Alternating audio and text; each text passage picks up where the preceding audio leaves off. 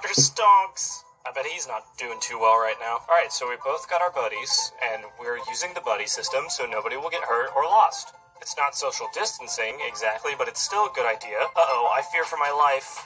I fear for my life with lag. We've got to be really careful, Mario. There's cannonballs literally everywhere, bro. And I don't want you to get hurt, so I'll get hurt alone. No! He was also hurt! Alright, this time it's me trusting you, buddy. Let's do it. Thanks, brother. I will forge on without you. Say psych right now, Nintendo. This isn't funny. Are you joking me? That's not my fault, bro.